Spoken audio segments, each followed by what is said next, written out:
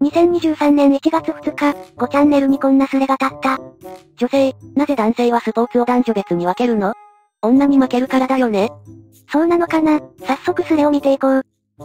近代スポーツはなぜ性別に言論を貫くのか。女性の保護？男女を競わせないイコール男性が女性に負ける可能性を封じる。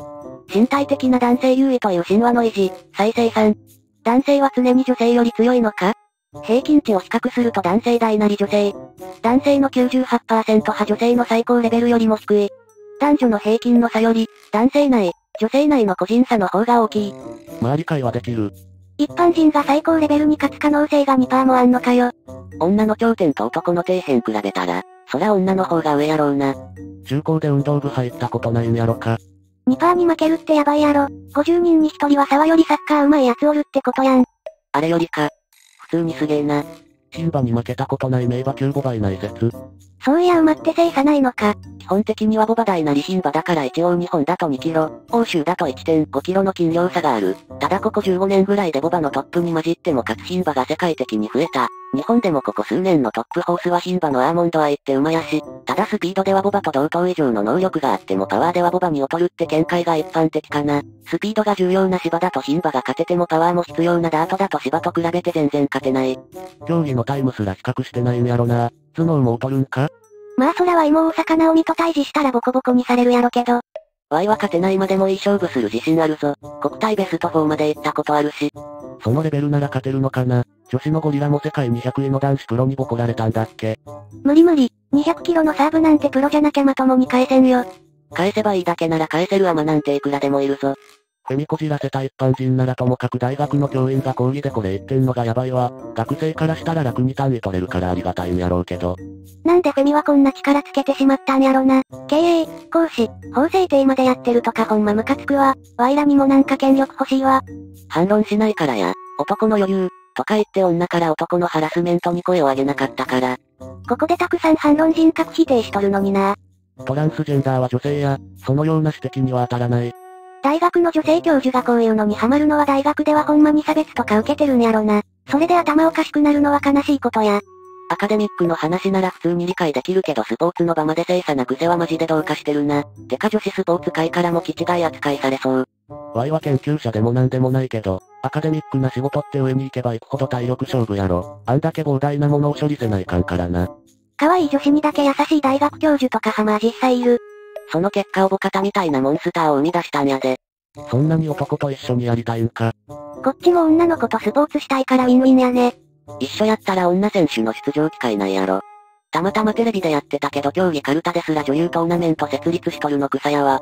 実際女が勝てそうなスポーツって存在するの？体重の軽さが優位になる競技なら可能性があるかな。スキージャンプは板の長さ統一すれば勝てるか？分けないと男だけのオリンピックになるからな。アマゾネスみたいな文化育んでても男に勝る能力は得られんかったわけやな。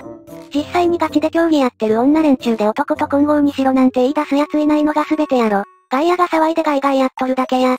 コンタクトスポーツ混合でやったら体重差で大事故起きるのが目に見えてるしな。弓道なら性別差あまりないかもとふと思って調べたけど、やっぱ男子の方が上みたいやな。腕力と背筋がもろに出るんやないか。単純に当たりだけなら割といい勝負できる競技だとは思うで、ただトップ同士がぶつかり合えば勝ち目はほぼない。ちょっと前に女子サッカー見た時あまりにも動きが遅くてこりゃ逆立ちしても男に勝てんわって思ったわ。女子サッカー代表は中学ユースに普通に負けるからな。レベルが根本的に違う。ボーリングダーツビリヤード、コントロール全振りの競技ならね。ダーツもスタッツボロ負けやぞ。ま、まあ競技人口の差があるからね。やっぱり競技人口って大事よな。女性を男性枠に入れたらほとんど人権なさそう。女性を何人か入れないといけないルールに改変するからセーフやで。公式で男女差ない競技は馬術ぐらいかスキージャンプのあの漫画はやっぱりファンタジーなんかジャンプは女子の滑走速度で男子がやったら全員飛びすぎて競技なり立たん。男女スポーツの差は身体能力だけの差じゃないんだよな。動体視力や体力、集中力、メンタルあらゆるもので男のが優れてるからな。多分裁縫の世界大会とかやっても男が勝つよな。女が勝てるとしたら色の識別大会とかやろ。空間認識能力もな。これはかなりスポーツで重要なファクター。でも野球で代打専門の女とかサッカーでポジショニングと決定力だけで勝負するフォワードの女とか出てきてもいいよな。サッカーなんてガチでやったら日本代表ですらそこらの高校サッカー部員に弾き飛ばされるレベルやで。そりゃそうだけど何十億人といるんだから一人くらいそういう技術だけで勝負できる奴がいてもおかしくないと思うんや。男子の中でそれができるなら女子の中ならバロンドール取れるからやらんだけやろ。何で男女の性差に噛みつく奴いるんやろな。男の方が身体能力や知能が高い動物だってのはもう揺るぎない事実やろ。古代からの遺伝子レベルの話なのに。日本の場合はセスとジェンダーがどっちも性差って訳されるせいでごっちゃになってるのが悪いと思う。あとアファーマティブアクションが浸透してないせいで理解が得られにくいのもある。体育の授業って最初から男女分かれてたっけ？中学の時はすでに分かれてたけど小学校時代が思い出せんわ。水泳は場所の都合上一緒やった気もするけど。一緒やな。小学生くらいだったら女の子の方が勝つとかはあり得る。高学年でも一緒やったか。最初は一緒やったのは覚えとるけどその辺の記憶になるとかなり曖昧やわ。小学校でも運動会やと男女分かれてたような気もするし。パティシエとかシェフも上に行けば行くほど男しかいないのはなんでや。その辺は体力勝負やからやで。カーリングも勝てないのかな。石が溜まってきからまとめてぶちかましたろ、みたいなのは男子が圧倒的有利。テニスサッカー将棋勝てません。男の98%は女子プロには勝てん。男の2%に女はどうあがいても勝てんけど。このバカ女の話に一番迷惑してるのって女子スポーツ選手だよな。あいつら全身全霊かけてきてようやく女子トップまでなったのにそこから男の中に放り込まれたらまるで稼げなくなるやろしな。頭おかしなるで。いいスポの世界ではどうなんやろ女性選手ってタヌカナの印象くらいしかないが。女性用大会が作られるタイトルがあるレベル。タヌカナは鉄拳で最高段くらい行って確かなり強かったけど、本当の国内トッププロには絶対勝てないレベルだった海外勢には手も足も出ない。まあ実際日本サッカーも世界でベストナインまで行ったから体格差は絶対ではないにしても無理すると捨てるんだよな。女性自身も怪我多くなると危ないし、やっぱトランスジェンダーにミスミス女性が賞金などを手に入れる権利、縄張りを開け放つ理論にしかなってないという。ベストナイン、ベスト16な。賞金分配があるから公式に9位と認められてるで。競馬も女上位のやつ来るから期待してるんごって言ってたのにその旦那の方がクソ強くて草生えた。今年もまた来てほしい。騎手は体重合わせてるから金量で劣る女性は他の競技よりもきつそう。騎手の腕よりも馬質の方が圧倒的に大事だからレースで女性騎手が勝つこともあるけど。地方で勝つやろ。阪神中京はマジでのイメージ。競馬とかでメスでオスに勝つやつおるわけやん。あれやばくね？自然界ではメスの方が強い生き物なんて5万とおるし、人の場合はたまたまオスの方が強いだけや。でも哺乳類って大体オスの方が強いか同等かくらいやないメスの方が強いというか大きいのってブチハイエナくらいしか知らんわ。哺乳類はオスが強いこと多いイメージあるな。メスに子育て専念させて同種同士の争いには参加させない方がええからかな。これに切れて反発してる時点で同レベルのガッチやねお前らも。あ、ほんまや、ごめんなさい男女一緒にしよう。って意見一致できないざ子供。ひどくて草。一緒にしてもいいと思うが上位2%に負ける時点でプロは厳しいよな。野球なら上位0.1%がプロ、上位1%が社会人野球独立リーグのイメージや。去年の甲子園で言えば上位2%でも70校あるからなそこに勝てないなら本戦には出られない。チーム戦で言うのは正確ではないのは承知やけど。将棋でも男女差あるけど、やはり脳みそからして違うんかな。女は雑念多すぎ、将棋以外には興味がないってレベルまで突き詰めないと無理やね。まあ構造的にマルチタスク能なんやろ。会話とかは女さんの方が上手いし。会話の定義が曖昧すぎるけどな。議論なら女さんは圧倒的に向いてないしどうでもいいことをダラダラ喋るって意味では飽きずに続けられるのは圧倒的に女さんやろな。まあ男女一緒のスポーツもあったらいいのにな。混合ダブルスみたいに絶対男女にしないといけないとかじゃなくて身長体重とか人種が自由みたいな。男女混合駅伝をオリンピック種目として採用してほしいわ。絶対盛り上がる。すまんそれ全部オスの駅伝でよくね？麻雀や囲碁将棋は割とすれたい通りだと思う。そいつら別れてないやろ。馬娘の配信とか見てると結構女プレイヤーが勝ち残ったりしてるんだよな。チーグはああいうのでしかマウント取れないからあれで負けたらかわいそうやな。こんな流れで馬の話題なんか出しといてよくチーグ煽りなんかできるなお前。草。草。わかる。そもそも、ああいう美少女系のゲームをやってる女とかキモすぎるだろ。アイドル的な要素があるからね。女にとってのアイドルって男にとっての野球選手とかそういうのでしょ。つうか女には子供産めるという男にはない能力あるねんからそっちでマウント取った方が有利なんちゃうんか？仮に男が身体能力の高さで生きっても、でも男は子供産めないよねでいやん。なぜわざわざ身体能力で競おうとするんや？子供作れなかったフェミさん発表してまうやん。すまん、そこまで考えてなかった。男にマウント取るつもりが同じ女にもマウント取ってまう可能性があるから微妙なんやな。ジェンダー問題って100年後ぐらいには提唱者が自然と打たされてるだろうから人類史における黒歴史になってそう。性差を認めるんじゃなくて性差をガン無視して無理やり男女平等にしてるのは合致としか言いようがない。どうあがいても性差は確実に存在するんやから。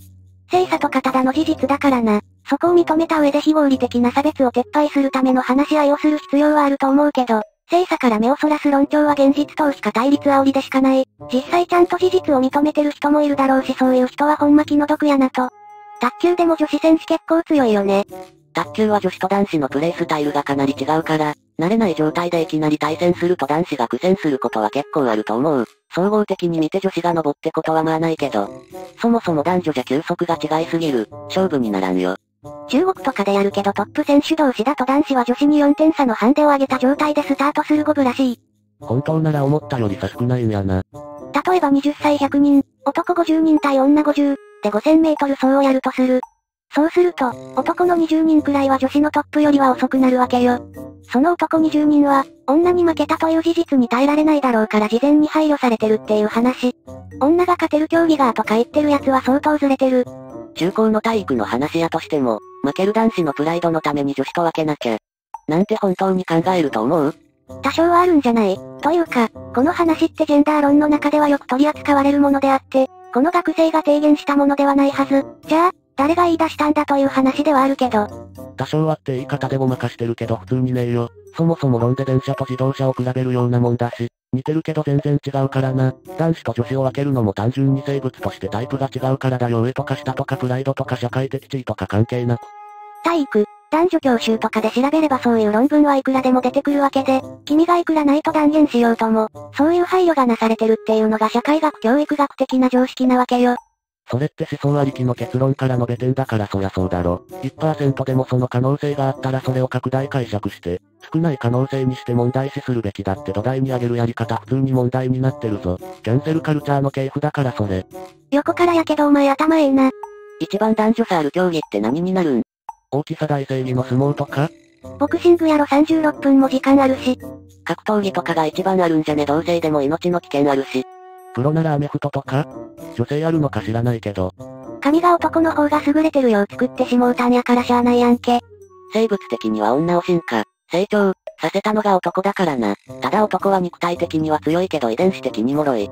男が仮に出て女が子供の世話してってのを長く続けてたのを急な発展によって人間が進化する前に環境が変わってしまったからな。Y え書くんやけど色彩感覚や繊細な色使いでは女性の方が優れてる人多いって感じるで、強みがある分野で戦えばいいのにな。女はほんまにうまいよな。平均取ったら男はそれこそ33対4で負けるわ。ただそっちのジャンルですら絵画やイラストレーター、漫画家のトップ層を集めると結局男の方が多くなってまうねん。トップになるには体力と何より圧倒的な負けず嫌い度がないと。女の子はお絵描き好きだからな。経験値の差よ。NHK 教育のアニメで忍たま乱太郎だけやたらお便りの絵がうまい理由やね。漫画があったわ。鬼滅筆頭に女の方が上。個別的例外の幻想で草。言うほどスポーツか？どこがだよ。理屈こね回すより感情に訴える方がええというのはあるかもしれんね。オセロとか大富豪なら男女互角やろ。オセロとか大富豪やるとわかるがそんなしょうもないもんでもやるとなると結局頭ひねって勝ちに行っちゃうのが男。遊びなんだから適当にやればいいじゃんってなるのが女や、マジで価値観が違う。やるからにはとりあえず勝ちに行くかという大半の男が持ってる精神を持つ女は少ない。煽りとかじゃなくて純粋に気になるんやけど女相撲チャンピオンだと男でいうどれくらいの強さなんやろね。小学生横綱でもかなり大きかったりするけど小学生相手なら技量で勝てるかね女子のトップレベルは大体男子中学生のトップレベルやで。体格のウェイトが大きい競技やとその限りではないやろ。中学生男子なんか成人男性みたいなのおるやん。女子に負けても別に悔しくない、っていう人たちは、ジェンダー研究家とその人たちの意見を踏まえて作成された教育カリキュラムが有効だっていう少佐かもしれんしな。この学生の諸先輩法の活動は無駄ではなかった。そもそも議題がふわふわでその定めた問題解決の手段もずれてるんだからいくらでも言えるだろそんなん。テレビに出てるインチキ社会学者と同類だよ。実際に君が納得するかどうかは置いといて、そういうジェンダー的な配慮があるっていうのが社会学的に一つ提言されててこの学生はそのことについて発表してるのよ。何かを勘違いした大学生がネットにさらして、男女のトップ同士が設定女に負ける競技なんかない、っていう因を下げてるわけで、色々と地獄や。ジェンダー的な配慮って言葉はいいけど画像見ればわかるけど、男性は女性に負けるのを恐れているっていう偏った思想だよね。社会学的に提言されてるって単なる左翼とか右翼とかと同類のイデオロギーだろ？データとかを用いてアンケート取ったりするならわかるけど主張だけとか単なるプロパガンダじゃん。勝ち負けの話じゃないけど男子バレーは一撃必殺が多すぎるから女子バレーの方が好きだわ。わかる。これはわかる。高校バレーぐらいだと男子の方が面白いで、プロの男子バレーはちょっともう。割とスポーツとして破綻してるわ。これはわかる。サーブゲーになりつつある男子テニスも同じ道をたどりそうやから、サービスエリアの範囲を狭くするとかルールを変えないと人気落ちそうや。サーブのスピードが出すぎないようにボールを変えるのが手っ取り早いかもね。あとはラケットかガットの性能に規制をかけるとかかね。正直、高校スポーツなら女が男に混ざって出てもええんちゃうかなとは思うわ。上からのルールで縛る必要まではないというか。実際怪我したら監督してるものの責任だから従らないんだよな。せいぜいレクレーションくらいで。歌のうまさはどうや？肺活量や音のデカさは勝てないだろうけど歌のうまさはそこだけじゃないし。声って声帯閉じるほど高くなるんやけど、声帯も筋肉だから鍛えればより閉じれるようになるわけ。でも開き具合は元々の首の太さ以上には開かん。やから極めたら元々首太めな男の方が出せる音息広いんちゃうかな。知らんけど。女格闘家が青葉に勝てるかというと勝てないと思う。それほどウェイト差ってものは絶望的なんだよ。武器使い武器。なんで素で喧嘩なんや殺されるかもしれん時は容赦なく武器使い逃げろ。動物なら別にたくさんある。ハイエナはメスの方が上位。そんなこと言い出したら、人類という種族で見ると男が身体能力優位になるって結論に至るだけやん。その結論で最初から俺は話している。スポーツのトップ選手の属性で比べて、男が女より優れてるとするなら、日本だと関西人が関東人より優れてることになるけどええんか？スポーツに関してはええんやないか。実際関西人は関東人に比べて負けん気が強い人が多いから関東人より競技ジャンルで強くなるのは割と自明のりや。高校野球と競馬以外で成功到底のスポーツってあるんかなアメフトは成功到底やね。事実を言うと差別女叩き、生きづらい。このスレッドは一線を越えました。ライフタイム、1時間、39分、10秒。今回のスレはここで終わってしまいました。皆さんはどう思いましたか？ぜひコメントよろしくお願いします。最後までご視聴ありがとうございました。チャンネル登録よろしくお願いします。